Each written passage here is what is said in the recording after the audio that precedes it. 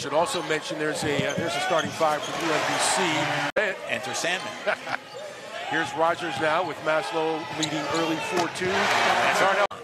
Ferry let him do that 24-day COVID break. Nice underneath. Dribble over to Kennedy. Wojcik has come on strong for UMBC last few games. Here's Kennedy for three. He's starting to control the game underneath for UMBC. Owens now open for three. Wayne got it for UMBC. Owens now open for three. Wing got it. Three-point lead for the Retrievers, reversing a five-point deficit.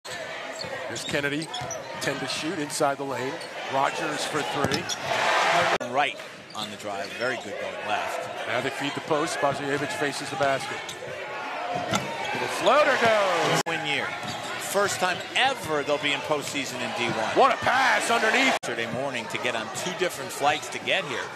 Oh, Wojcik on the return, and he throws it down. That's now 18, and Pat Duquette is furious with his team's defense. He, he still has two more years of eligibility.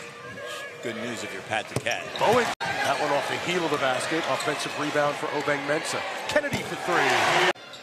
Didn't have to go very far Rogers to get to here. It's on the shot clock. Boonyasith trying to break down his man. Spins in the lane. Boonyasith. Boonyasith, he'll drive. Now in the hands of Rogers. He'll launch it. Deep three. Roger! Double quickly. Spasojevic keeps it alive. Johnson. Up and in. Team who couldn't handle the pass. And Brooks just said, yep, that was me. Uh, two personals on Johnson. Nice pass. Nice And block. Johnson rejects it. Nice. LJ Owens dribbles through, now spinning, low block. Gets it, cook. The opening tip here in the overtime. Brooks all the way to the basket. Hand off to Owens.